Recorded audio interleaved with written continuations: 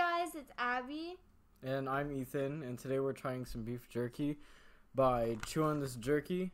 My dad recently got uh, like a whole box full of them, and of course he bought them. But uh, we have three flavors today. We got teriyaki, uh, we got Western, traditional Western, and carne asada. And you have the little heat gauge here of how hot everything is. The two are kind of low, and the carne asada is kind of high. So let me see if I can try this real quick. You can, you can take one if you want. And just be a bystander. And we could switch or trade or something, I don't know. Oh, this baby proof. Seems like on. somebody's the baby. Hold on a second. How's it taste so far? mm, that's really good. I can't even open mine. I think that's pretty good for the carne asada flavor. You want to try? Let's switch. I thought it was kind of good. I thought it was not even that spicy. You have a piece here. They're kind of just like thinner spice, thinner pieces of beef jerky, but oh, I kind of like it. Mm, Oh, you got a traditional western. yeah. Try teriyaki maybe. Nah, I'm just gonna keep eating this one good. Try something else. Carne asada is pretty good though. Hold on a second.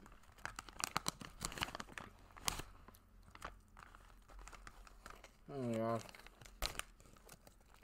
These bags are gonna be gone. And if you guys want to send like more food or something, then do that because I don't know. I'm kind of hungry.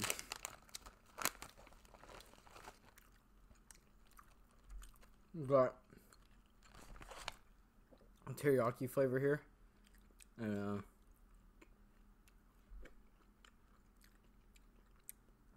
this is like normal jerky. I think every normal jerky is like teriyaki. Traditional Western is like a kind of, let me see, kind of, uh, oh, kind of like a barbecue-ish flavor, I guess. What do you think it tastes like? Just the same. Really? Oh no, it has a sausage kind of flavor. Not a barbecue. It looks like bacon. Well, I mean, that's how beef is. There's a lot of it, anyways. It's pretty good, though. And there are other flavors. There are, like, many other flavors by Chew on This Jerky. These are just the three that were in a sort of package, I guess. Uh, the three that came in a package, and we get about three of each, I think we did. And, yeah. Oh, two of each. Two of each we got. So we got more for later, which is good. This is actually really good. Um, Kriya, I need a, I need a, I need a. Um, What do you do? Just, just. She just took some of that, but that's alright, I guess. Just can chew on this more. Uh, so while she's gone and probably munching on those, sadly, um, one thing I like about these is not only the taste, but like the texture of like when you eat them. Not like other jerkies where they're all like tough. I mean, some people probably like them, but I kind of like them tender-ish, I guess. Well, it's not tough to the point where you like literally can't chew it. It's a good enough like chewing texture. Tastes great. Like I said, there's other um, flavors you can get other than the three that we have here, which is probably like good. Like this one is. So that's always good. Talking about texture. Uh, we want to thank Chew on This Jerky for sponsoring the Iron Giant Series race at the Siskiyou Golden Speedway uh, for the first annual Gold Rush 50 on May 26th. So if you guys can go ahead and attend that, that'd be quite nice.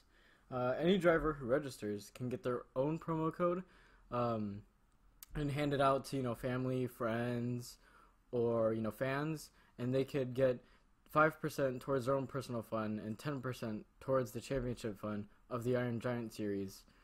Uh, me and my family, or my dad, him, um, we use Brian Cronk's code, which is here, and I'll have it on the screen.